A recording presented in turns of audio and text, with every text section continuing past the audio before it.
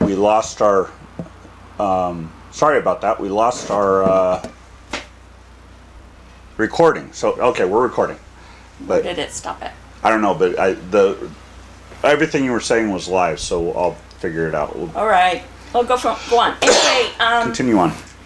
so as we get together and talk on on Shabbat, which is God's rest day, um, we're going to be sharing things that we experienced going through Messianic um, living for the last 17 years. Seventeen years. Oh my God, 17 years.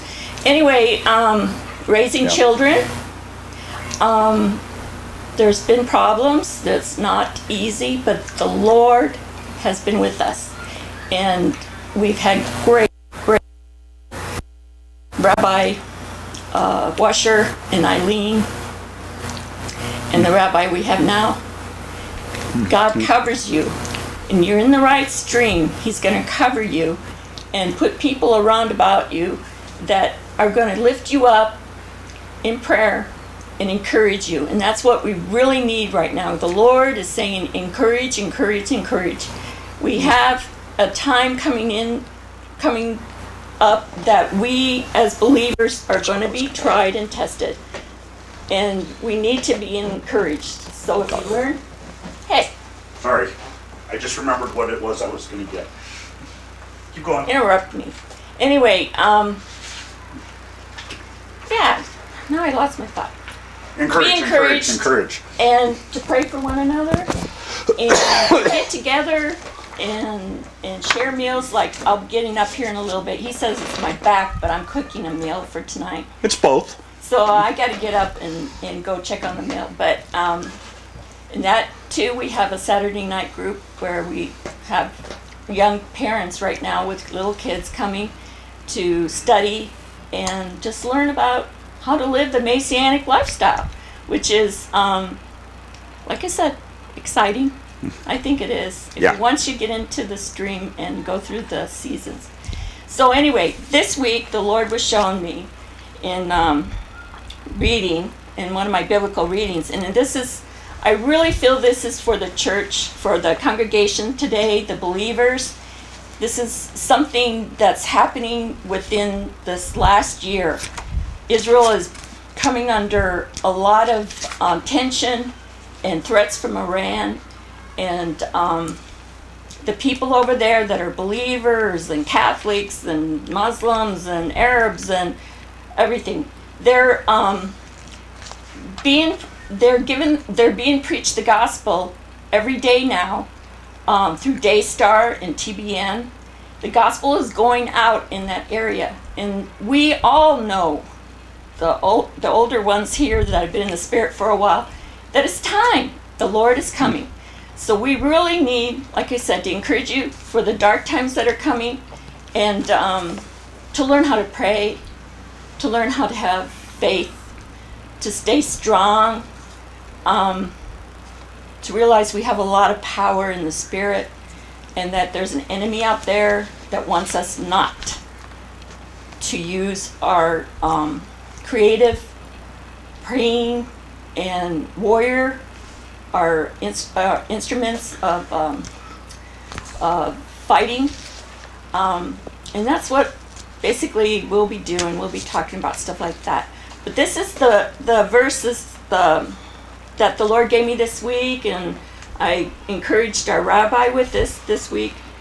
It's in revelation 3 7 and it's to the um, church of philadelphia. And to the angel of the church in Philadelphia, write He who is holy, who is true, who has the key of David, who opens and no one will shut, and who shuts and no one opens, says this I know your deeds. Behold, I have put before you an open door which no one can shut. Because you have a little power and have kept my word and have not denied my name. And then it goes on. But basically, it's our time. It's our time to go th- uh, through the doors, to open up doors, bless your lives, learn the blessings of God. Um, Messianic, we say prayers uh, Shabbat, we say prayers over our kids. We bless, bless, bless, and it works. It really does. Um, I should be in bed in a wheelchair with my back the way it is, but God is giving me strength to walk. And I have pain, but He gives me the strength. And I think He's the best pain medicine that anybody could ever have. So I welcome you to our um, little show, and I know it's the first time. There's a lot of things that are going to be coming that you know we're planning to do, and um, I think it'll be exciting. Um, yes, the family members that are watching me, like my five kids and the grandkids, your mother, your grandmother is you know gone Michigan, but um, not really. I love you all. God bless you all. And I'm going to leave it to Joe now to do some teaching while I go to the kitchen. Woohoo! Bye. Bye. See you in a bit. Sorry about that. Okay. So, um, and just so she knows, um, she was correct. The key is on his shoulder. Uh, the the verse about the um, the one who has the key of David. It is a direct quote from Yesh- Yeshayahu or Isaiah 22 22. And it says it's on his shoulder, and he will, sh- what he shuts, shuts, what he opens, opens. And it's, a, it's also what the Messiah Yeshua quoted when he said to uh, Peter and also to the rest of the Shlachim or the apostles, what you bind on earth will be bound in heaven. What you um, loose on earth will be loosed on heaven in heaven. Basically what you shut in on earth will be shut in heaven. What you open in on earth you will be open in heaven.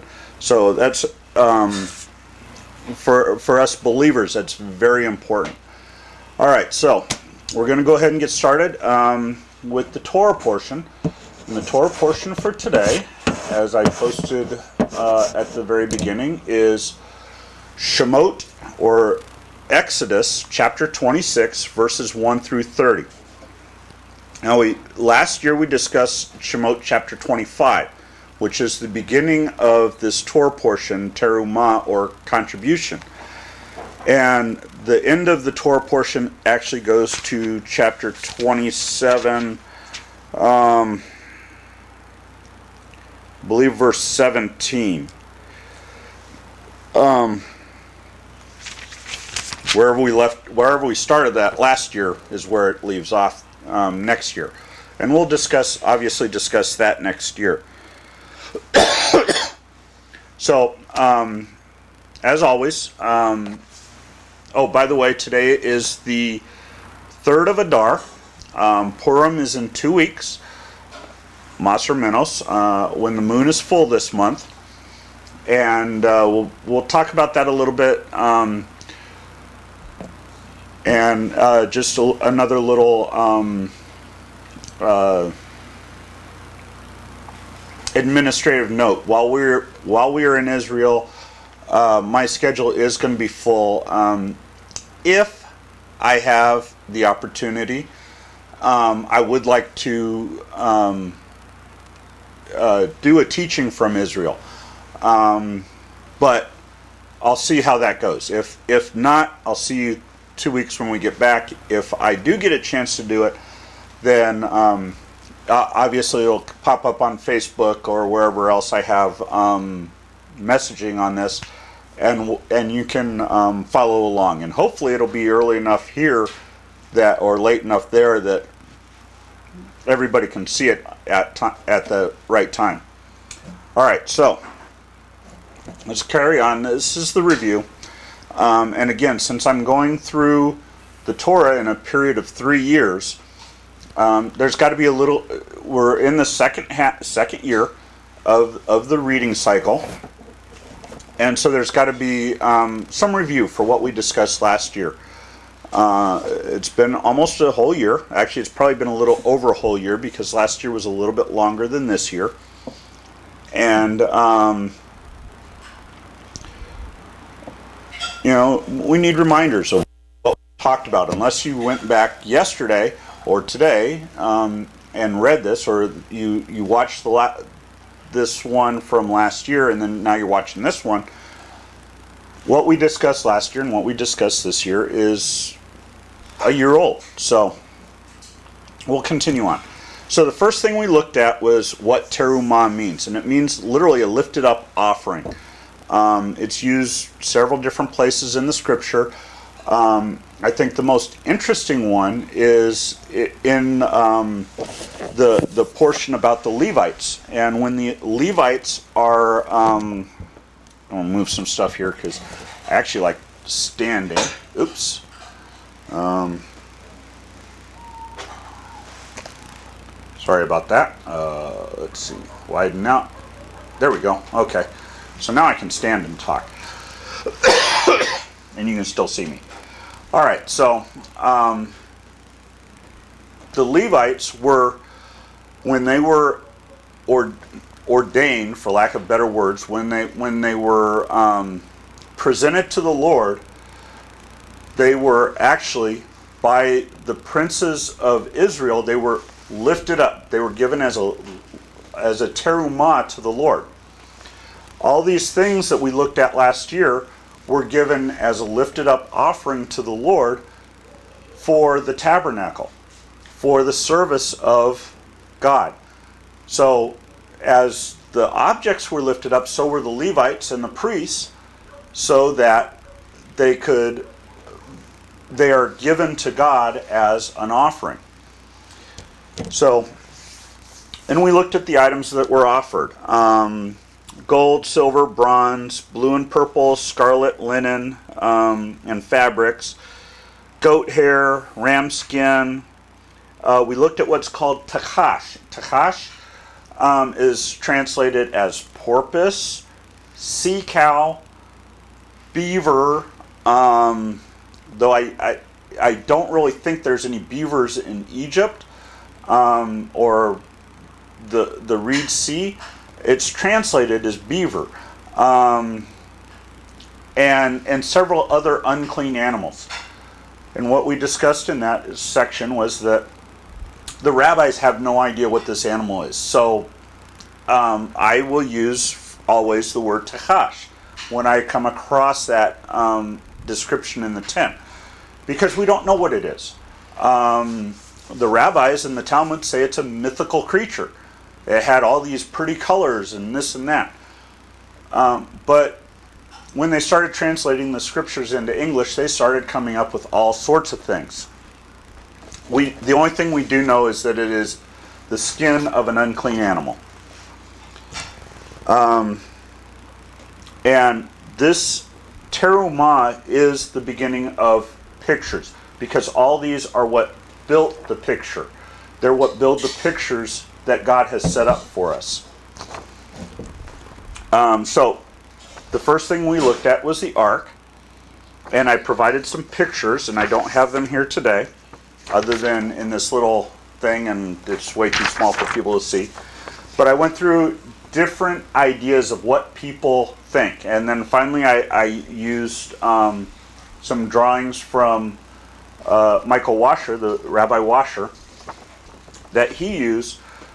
And I feel, my opinion, of course, that this is a more accurate representation as to what the ark looked like because it's based on Scripture. It's based on Ezekiel chapter 1, verses 5 through 10, and it describes what a cherubim looks like, or a cherub in English.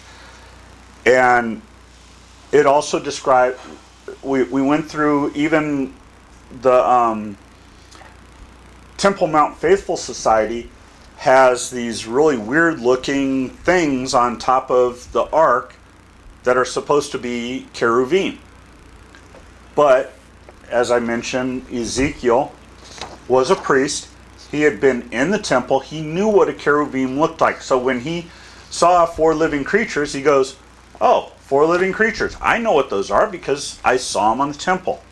So that and that is a picture of God's chariot. The next thing we looked at is the table of showbread, or what's called the table of showbread in the scriptures, but it's actually um, the bread of the faces, the um, lechem panim. Um, and uh, no, according to the Hebrew, the Hebrew it's called panim, faces. So it's the bread of the faces. And then we looked at the menorah or the lampstand. And again, we looked at several different um, ideas of what the menorah looked like. And um, I again came down to, based off some uh, other books that I unfortunately don't have, um, which went into the Talmudic and the Mishnaic description of what the menorah looked like. I showed what a better, maybe a better image of the menorah is versus what they use in Israel today, because that image was actually taken off of the um, Roman um, Arch of Titus, which is the person who destroyed the temple. And those were actually replicas of the menorah that were originally in the um, in Solomon's temple. Uh, the original menorahs were taken to Babylon and destroyed. Uh, so the original menorah was probably hidden somewhere, so nobody's seen it. In that day, we'll obviously see what the menorah really looked like. And so that's we are now where we begin. So um, the last thing we looked at, and this is repeated, and we'll look at it at the end also, is um, these are things that were shown to Moshe in the mountain. So, and God said, make them exactly like you see them in the mountain. So, even though now today, because we've lost all this, um, there's no description of what it actually looked like. We're going based on what we think it looks like. God showed Moshe, Bezalel, and Oholiab the exact pictures he wanted them to look like so that there was no mistaking what was in heaven. So today we're going to look at the, the Ohel or the tent. Um, and I've got a picture there for reference. And we'll start with verse 1. Go ahead and read that real quick. Uh, let me make this printing a little smaller so I can read it. There we go. Moreover, you shall make the tent with ten curtains of fine twined linen, and blue and purple and scarlet with cherubim. Okay. Um, the work of, a, of the skillful workman you shall make them. The length of each curtain shall be 28 cubits, and the breadth of the. Where am I? Um, the breadth of each curtain, four cubits and all the curtains shall have one measure. Five curtains shall be coupled together one to another, and the other five curtains shall be coupled one to another. You shall make loops of blue on the edge of the one curtain from the edge in the coupling, and likewise you shall make the in the edge of the curtain that is outmost in the second coupling. You shall make fifty loops in the one curtain, and you shall make fifty loops in the edge of the curtain that is in the second coupling. The loops shall be opposite one another. You shall make fifty clasps of gold, and couple the curtains one to another with the clasps, and the tent shall be a unit. So, what you trying? Oh, you move. Oh, okay, I see what you did. Sorry about that. So, first thing we're doing is looking at the first layer, and if you look right in here, you can see the tent, the first layer of the tent. It's got it's 10 layers or 10 sections and on each section are cherubim. So 10 curtains, they're made with blue, purple, scarlet, and the cherubim. Now the blue, purple, and scarlet are also used in the priestly um, uh, garments, the high, or the garments for the high priest. The the idea, um, as I was taught, the, when these three colors get put together, it looks like the nighttime sky. So with the gold clasp and the nighttime sky, I'm getting ahead of myself a little bit, but it should look like um, the stars in heaven with the cherubim circling around. Now, it's 28 cubits long by 4 cubits wide. If you've done any studying of the of the tabernacle, you know it was 10 cubits high 10 cubits wide, and the holy place was 20 cubits. The Holy of Holies was 10 cubits, so a total of 30 cubits long. And every single temple, every single um, iteration of the tabernacle, whether it be this mobile one, Solomon's, um, Herod's, or the new the the new temple in the kingdom, they all have these same proportions. Not necessarily the same size, but the same proportion. So if you so if you look at that, you've got 10 cubits up, 10 cubits across, and 10 cubits down. The bottom, the inside curtain actually will not um, come all the way to the ground. And what happens is, and we'll discuss this a little bit later, is there's um, stands that the pillars sit on, and those are visible underneath the curtain. So, five curtains and five curtains, um, all sorts of pictures. We discussed. Um, where did I? Let's see. I left it over there. Um, in the box is the 39 Tavniot, or maybe in the um, check the binder first. It might be right in front of the binder. so that was the other thing I forgot to get. Um, so when we talked about the 39 Tavniot last year, where we looked at all the different parts, which was actually a complete Torah portion in itself, um, one of the things we looked at were the parts of the tent. This inside covering is a picture of the temple in heaven, where there's cherubim all around. Um, and anytime the five comes up in the scripture, it's a picture of the five gifts that um, are present in the spirit. And then we looked at, then there was loops of blue and clasps of gold.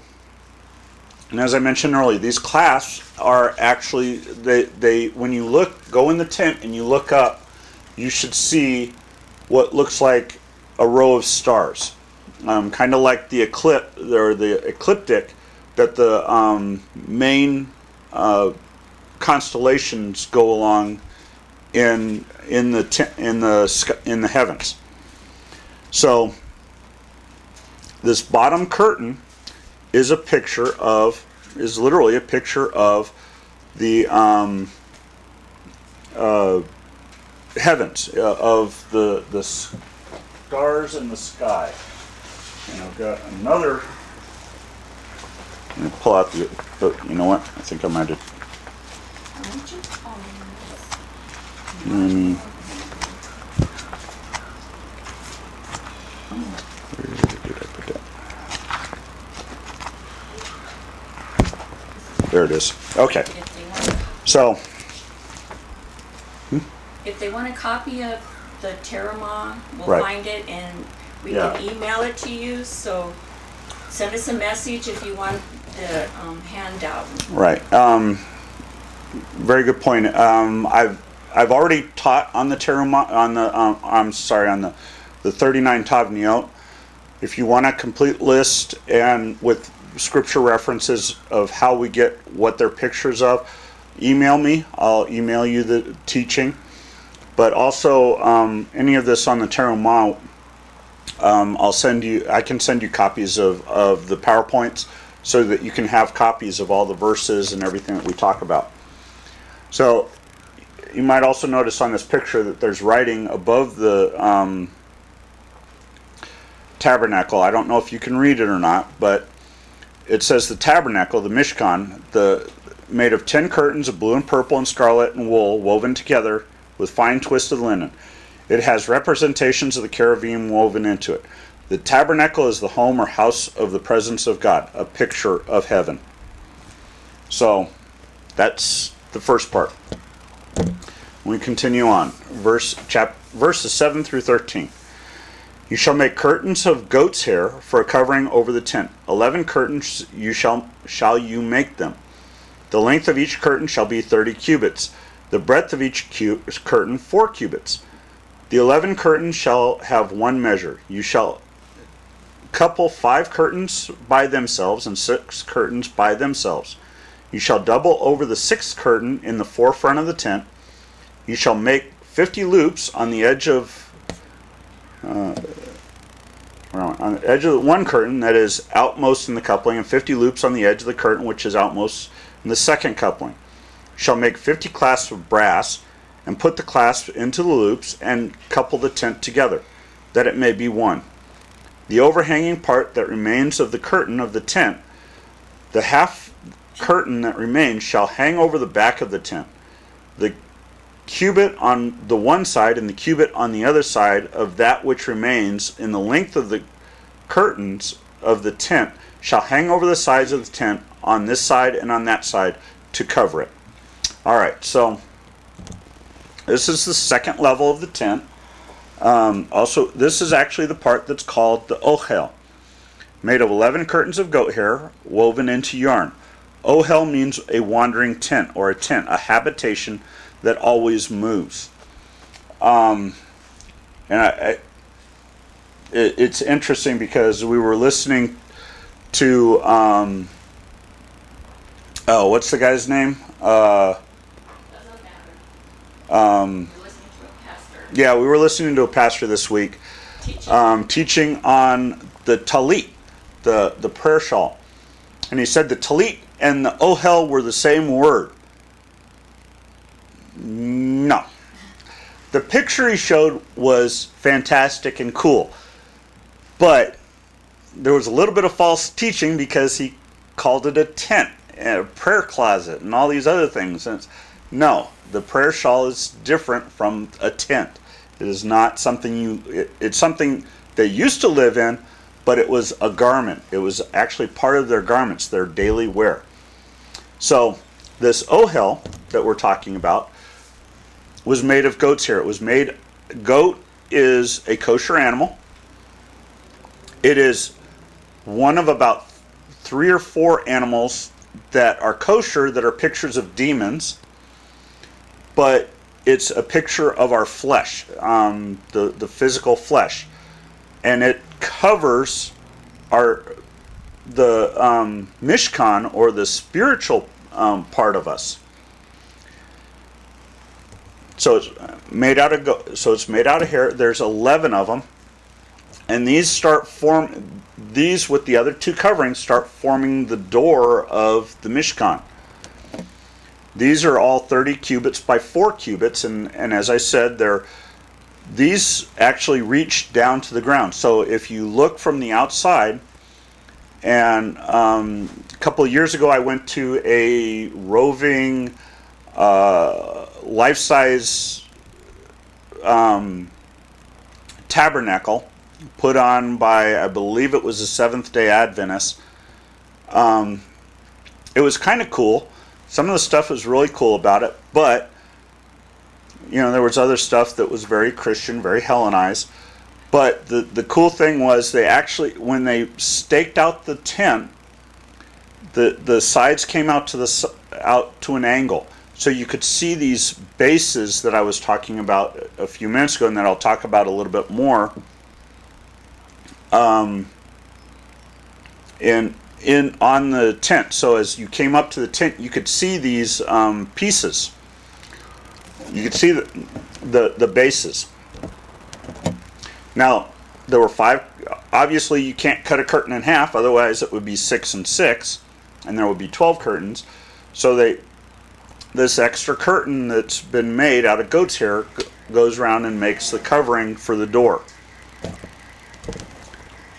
And in the second um, part of the the tent, in the second covering, we've gone from gold class now to bronze or, or brass class, depending on the translation. It's either bronze or brass, um, but they're a, a darker, ruddier color than gold.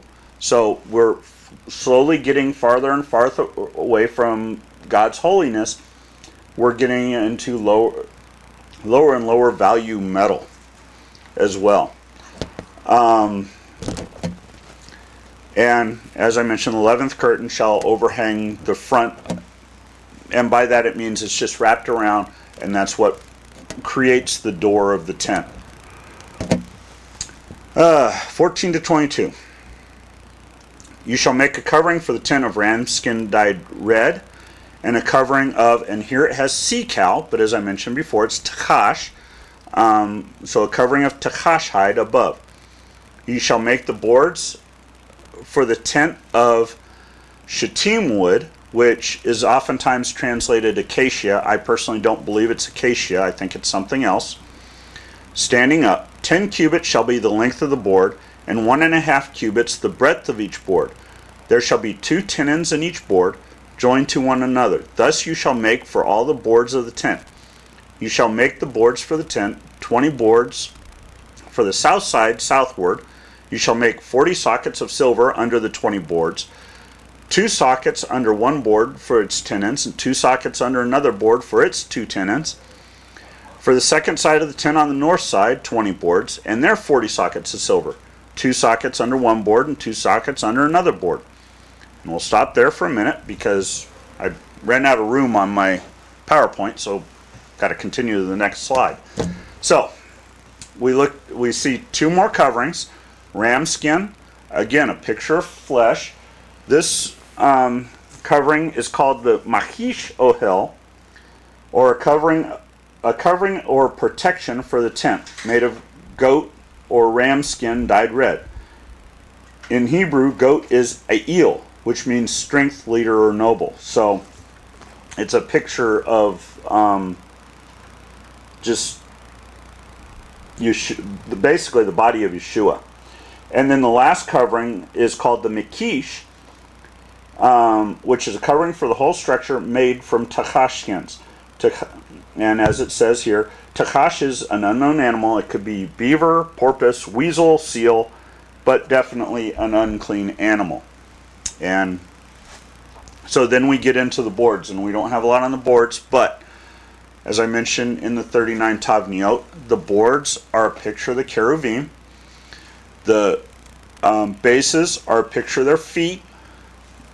They're also a picture of believers as we sur- as we surround the throne of God, as shown in, in the book of Revelation or Chazon.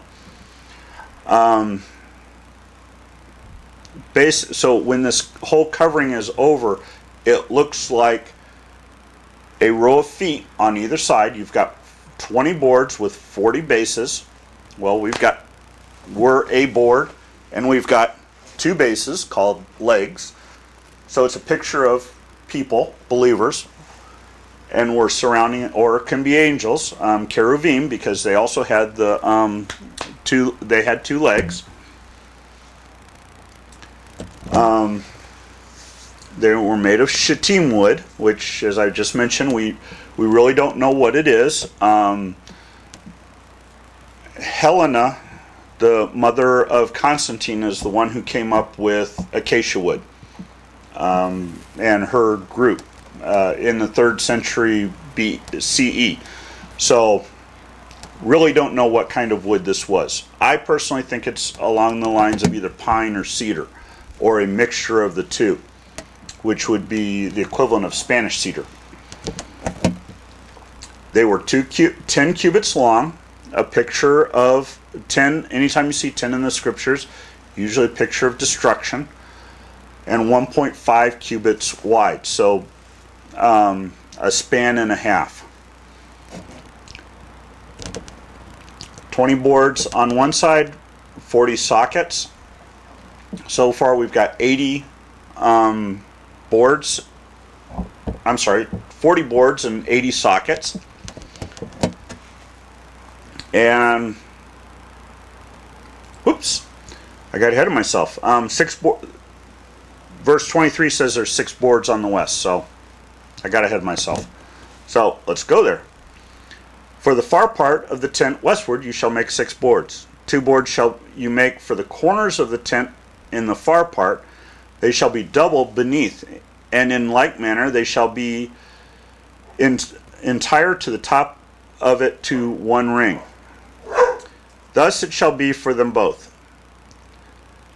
They shall be for the two corners. There shall be eight boards, and their sockets of silver sixteen sockets.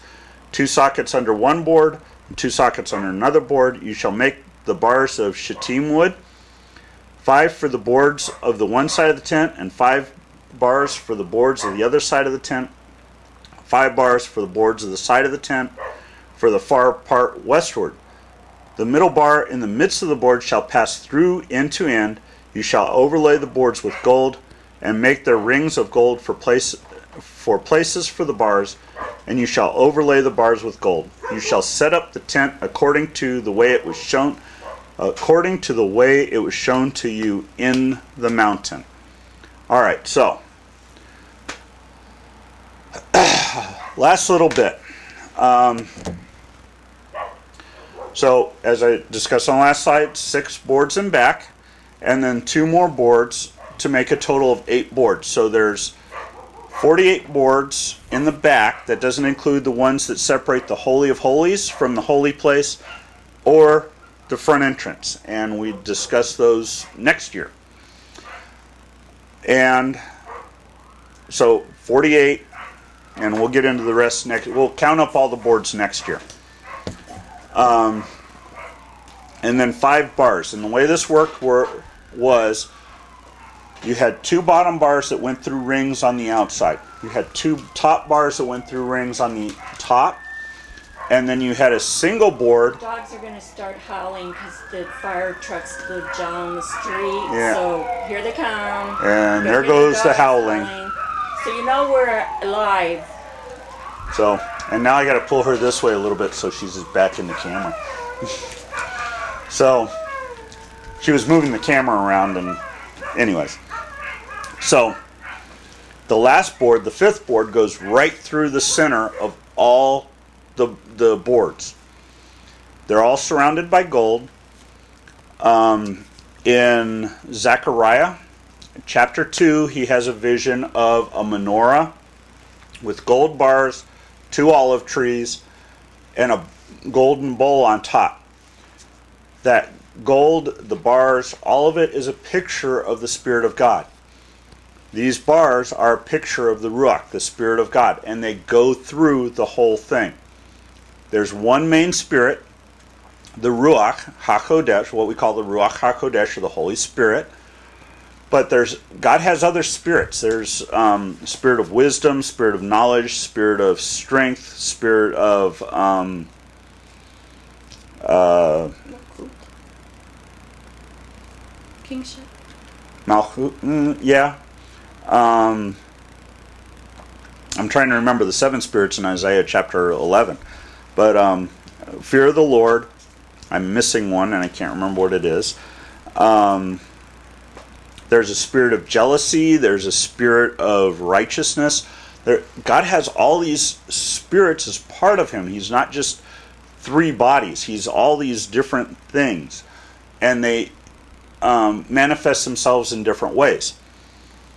But the main spirit, the Ruach HaKodesh, goes through all things. It's God's spirit and it goes through all things.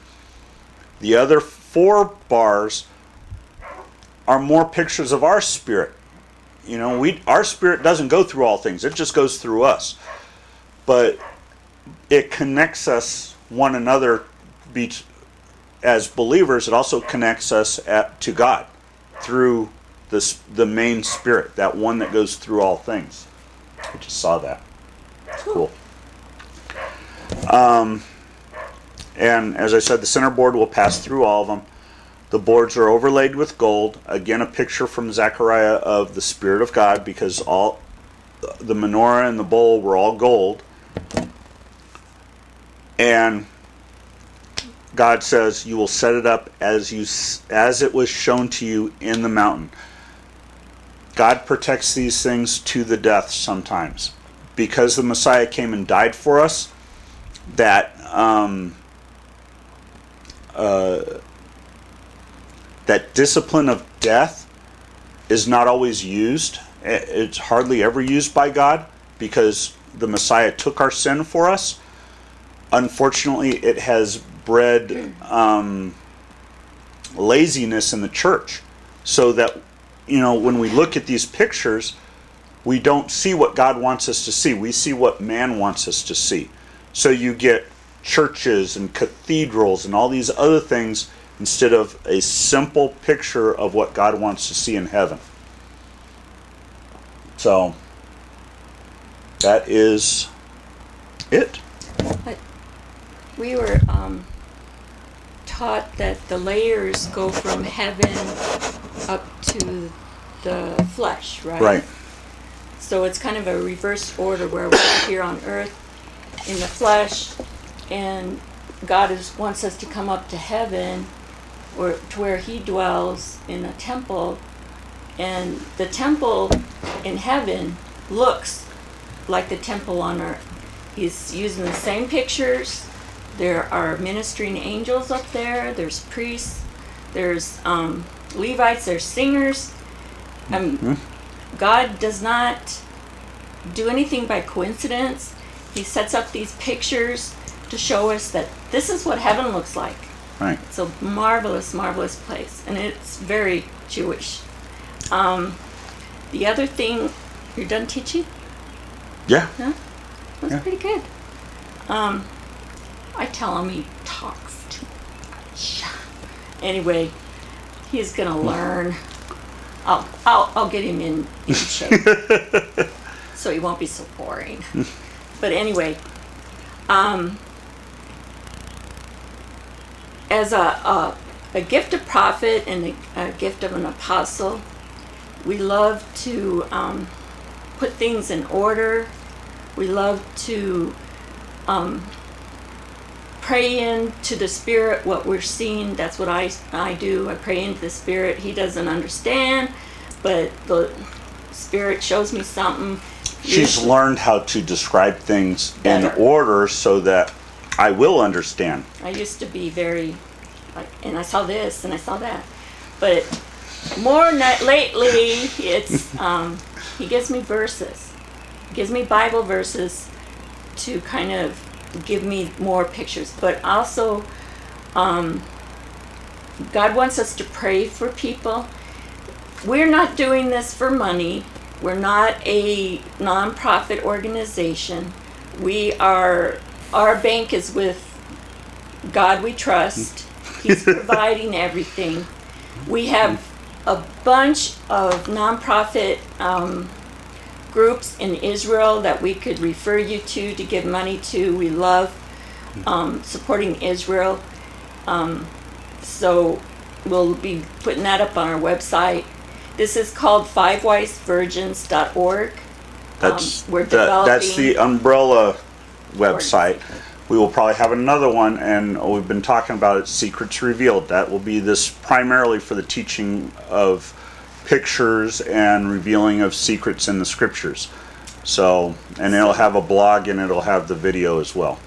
anyway, we're not asking for donations, but we are asking it um, to send us prayer requests. That's the gift, the ministry that God has given me, and I would love to pray for anything you're going through right now. You see this, and you hear me say, "I want to pray for you." I really do. God has put me here to reach some people in this way. And um, He's going to do wonderful things. He really is. There's miracles happening, and um, there's a revival starting, and we want you to be a part of it. We want you to wake up if you're asleep, one of those baby Christians that are just going to church.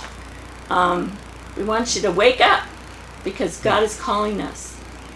And uh, that's what we're going to be called. He has called us, chosen us, and now He's preparing us for His coming. I'm going to say Yep. a prayer. Yep. Father, I thank you again for today. I thank you for the Shabbat. I thank you for the order of your Shabbat. I thank you that you've given us people who want to hear your message through us. And I thank you that you, you are bringing more and more people to, to our door, whether it be through the internet door or to our physical door, Father. Father, I ask that you keep all your things in order each and every Shabbat. Let us follow your will, not our will, as it was shown to Moshe in the mountain. Open our eyes to see what was shown to Moshe. In Yeshua, your Messiah's name. Amen. Amen. Shalom. Shabbat Shalom.